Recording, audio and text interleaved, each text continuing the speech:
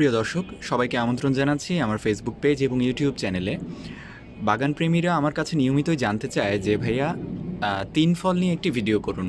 তিন বা ডুমুর নিয়ে একটি ভিডিও প্রয়োজন। কারণ, আমাদের ছাদ বাগানে বাংলাদেশে প্রচুর পরিমাণে এখন জনপ্রিয় হচ্ছে এই তিন ফল। পবিত্র কুরআন শরীফে এই ফলটির কথা উল্লেখ রয়েছে যে, এটি বেহেশতের একটি ফল তিন ফল। এবং এটা মিশরীয় ডুমুর, যেটা আমরা বলছি, বাংলাদেশের আনাচে কানাচে অনেক ডুমুর পাওয়া যায় বিভিন্ন প্রজাতির, যেগুলো আসলে পাখিরা খেয়ে থাকে। কিন্তু এই মিশরীয় জাতটি এখন খুব ছাদ বাগানে জনপ্রিয় হচ্ছে। কারণ হচ্ছে এটা প্রচণ্ড মিষ্টি এবং এটা খুব সহজেই ছাদ বাগানে হওয়া সম্ভব। এবং যেহেতু এর সঙ্গে একটি ধার্মিক সম্পর্ক রয়েছে, যে পবিত্র কোরআনে এটার উল্লেখ আছে যেটা বললাম, এই কারণেও মানুষ এখন এটার প্রতি দারুণভাবে আগ্রহ দেখাচ্ছে। ছাদ বাগানে কীভাবে আমি ডুমুর করছি সেটা নিয়ে আমি একটু বলি। ডুমুর সাধারণত খুব ছোট টবেও হয়। আপনি বারো, চোদ্দ, ষোলো ইঞ্চি টবেও ডুমুর করতে পারবেন এবং দারুণ ফল পাবেন। কিন্তু আমার একটা ড্রাম খালি ছিল দেখে আমি এই ড্রামটাতে ডুমুর ফলটি লাগিয়েছি, ডুমুর গাছটি। এবং এটা একটা কাটিংয়ের চারা ছিল। খুব ছোট এবং দেখতে একটু দুর্বল চারা মনে হচ্ছিল, কিন্তু চারাটি আসলে খুব ভালো জাতের ছিল। এরপরে আমি এই ড্রামে যেভাবে মাটি তৈরি করেছি, সেটা হচ্ছে কোকোপিট কম্পোস্টার মাটি। এই তিনটা উপাদান মিশিয়েছি। এর সঙ্গে আমি দিয়েছি চার মুঠো করে এই ড্রামের জন্য, চার মুঠো করে শিংকুচি হাড়ের গুঁড়া নিমখৈল এবং পঞ্চাশ গ্রাম পরিমাণে ডিএপি সার। অনেকে এর সঙ্গে টিএসপি বা পটাশ দেয়। আমি ওই সারগুলো মাটি তৈরির সময় কিছুটা অ্যাভয়েড করি।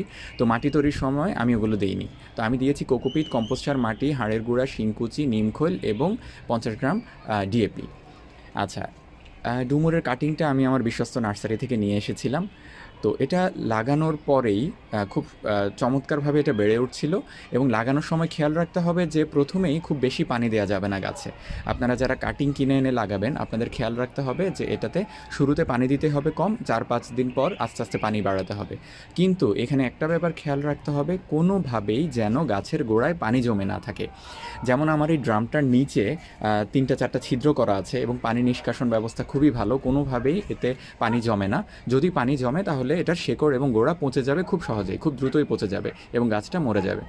তো আপনাদের যদি নিষ্কাশন নিয়ে কোনো সন্দেহ থাকে আপনার পাত্রে, তাহলে যেটা করতে হবে যে এই জায়গাটা আপনার উঁচু করে দেবেন। হ্যাঁ চারপাশটা একটু ঢালু থাকবে এবং গোড়াটা আপনার একটু উঁচু করে লাগাবেন এবং মাটি দিয়ে ঢালু করে রাখবেন যাতে পানি পড়া মাত্র সেটা ড্রেনেজ হয়ে সরে যায়, গোড়ায় যেন না জমে থাকে। আচ্ছা ডুমুর গাছ লাগানোর ছয় মাসের মধ্যেই ফুল আসা শুরু করে। মানে তিন মাস, চার মাস, এম- সর্বোচ্চ ছয় মাসের মধ্যে এতে ফুল আসা শুরু করবে। ফুল আসার সঙ্গে সঙ্গে আমি যেটা করেছি, আমি বারো থেকে পনেরো দিন অন্তর অন্তর সরিষার খৈল ভেজা পানি দিয়েছি এবং আমি দিয়েছি কলার খোসা ভেজানো পানি সপ্তাহে একবার।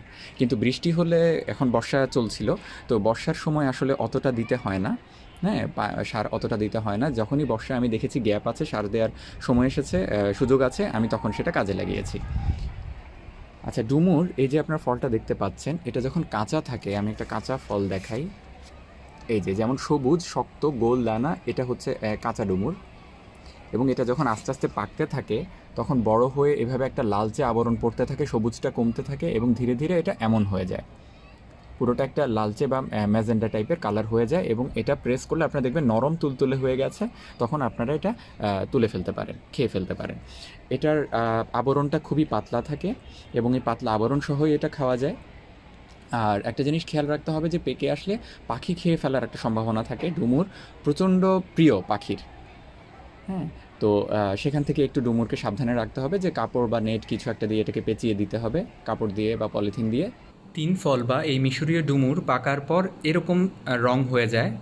এরকম মেরুন বা লালচে এক ধরনের বা চকোলেট কালারের হয়ে যায় পুরোটা এবং নরম হয়ে যায়। তখন আপনি বুঝতে পারবেন যে এটা পেকে গেছে।